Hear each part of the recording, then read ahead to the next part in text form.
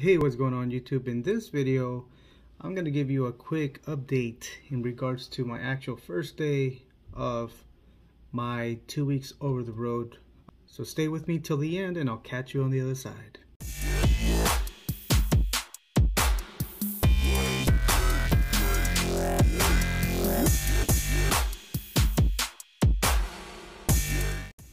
Right, all right. Welcome back. Welcome back. Thank you for joining me today. My name is Abdiel. For any of you that don't know me yet, um, in this channel, I do go over my whole entire journey and I try to document as much as I can um, to give you guys something to see and give you an input in regards to what to expect when you sign up for the actual CAT program with Schneider Trucking. So if you're new to this channel, consider subscribing and hit that notification icon so that you get notified when the next videos come out. Alright, let's get into the video. Okay. Alright. So this today is Monday. Monday, Monday, Monday. This is the very first week um, that we are actually out with a training engineer. I didn't really document my whole drive and I haven't even given you an update yet in regards to where it was sent. I'm actually going to give you an update to let you know where they sent me. I'm actually in Ohio. It was actually pretty cool because it was only uh, about two hours and a half of drive away from the operating center that we were currently in in uh, Indiana, Indianapolis. Um, so it wasn't that far of a drive, and we came to uh, stay at a city called uh, Van Wert, Ohio, and this is where we are at. There's no operating center here. Uh, we were just put in a hotel, and then from here, from this hotel, we drive five minutes to meet with a training engineer. Today was our very first day. The very first thing we did, uh, we did a pre-trip inspection. But anyways, before I get into the details, um, yeah, I just wanted to give you an overview. Um, I got partnered with another student uh, because there is a lack of training engineers they're doing two students per training engineer. Um, it's not that bad. Um, it does cut into your actual uh, training time on the road. Um, you know, like if you, it was only one person or one student, you get to drive the whole entire day. Uh, but in this case, I take turns with the other students. So just be aware that if you do come with Schneider, there is that chance that you will be partnered with another student with one TE, um, but it's not bad. You know, um, I know I got at least four hours of driving today, and it was it was fun. It, was good. I mean, I enjoyed every single minute of it. Um, the TE that we got is very awesome. He's very laid back. He's very chill, and he guides you as well in the beginning a little bit.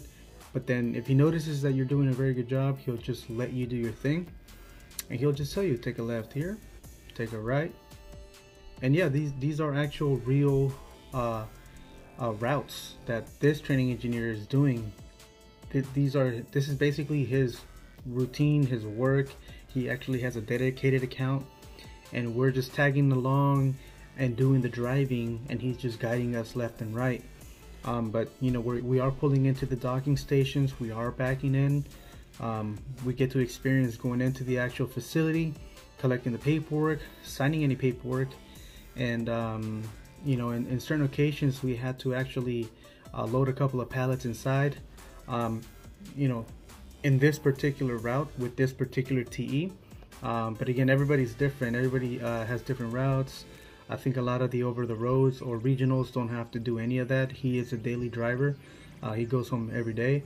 Um, but anyways um, we came out to Ohio Van Wert Ohio and like I mentioned to you guys um, it was only a two hour and a half drive so it wasn't that bad. We came here the very first thing we saw right away and we were kind of happy me and the other student is that we, there was a Walmart literally three minutes away. So it's like boom what else could we ask for you know? We just have that real close by if we ever need to go. Um, I do want to let you know though that on during your over the road time which is two weeks in the uh, CAT program with uh, Schneider uh, they don't provide any more any um, meals, so that is something that's going to come out of pocket. Now you need to figure out what you're going to want to do, um, whether you're going to buy food every day out on the road, or you can basically prep your own food and just take whatever you're gonna make um, every single day. Um, that's the route that I'm doing. I'm doing something very simple, very straightforward, nothing too complicated. Something a guy would do, sandwiches. Uh, so that's what I'm doing. Um, but you can definitely do as you please. And like I said, if you don't take any food, and if you get hungry, you do have to spend money out on the road.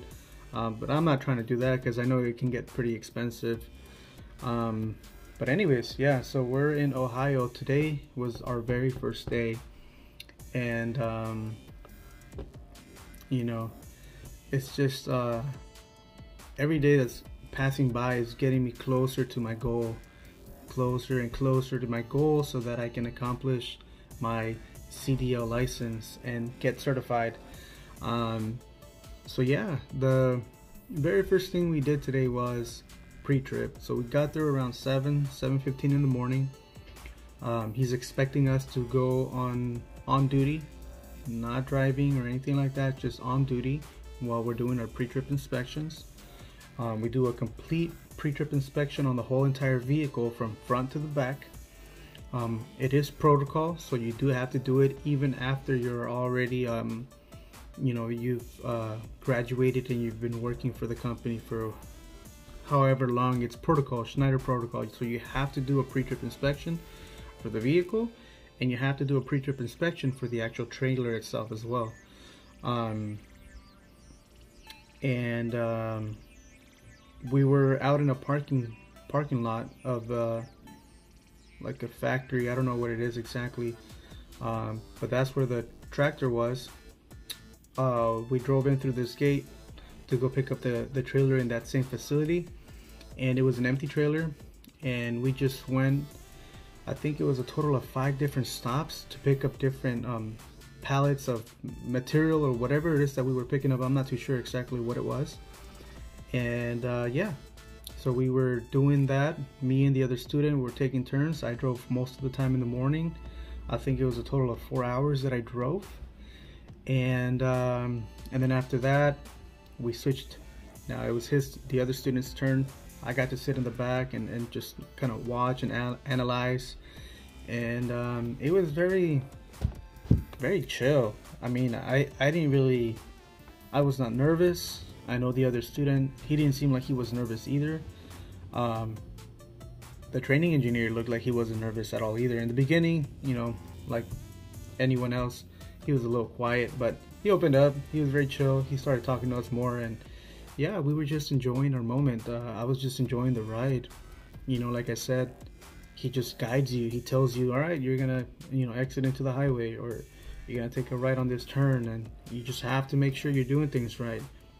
Try not to hit any curbs because he is also going to be um, grading you. He's going to be um, uh, giving you a score or I don't know if it's uh, like marking you good points or marking you negative points. But either way, they're, they're grading you. And um, again, you know, you just don't want to hit any curves.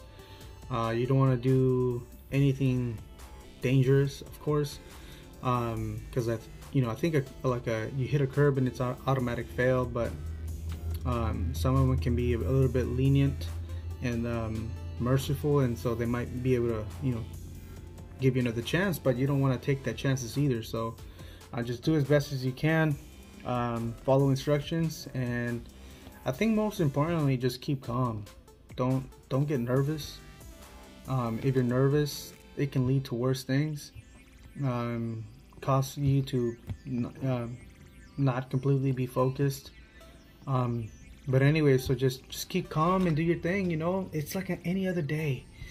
Don't even think about it. Don't think that you're driving a 53 foot semi truck. Just yeah, it's it seems like it's wow, it's crazy, but it is what it is. Keep calm.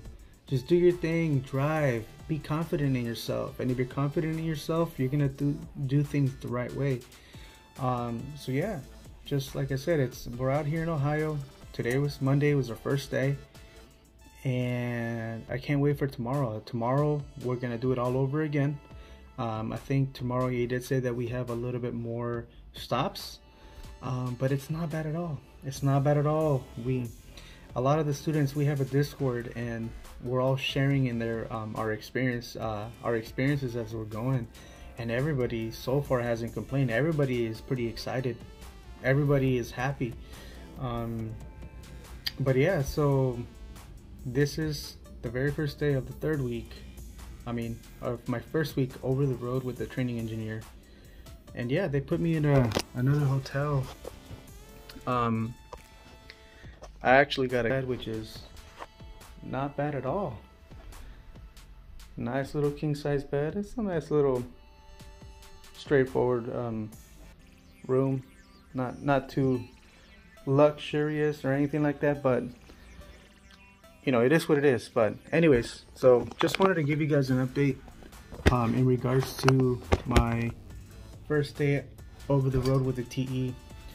Um, there was a couple of students that probably got got it a little worse. They actually had to go over the road constantly versus me. I'm just basically oh, um I'm doing my uh my um, over the road training with a daily driver that goes home every day. So we get to go home every single day.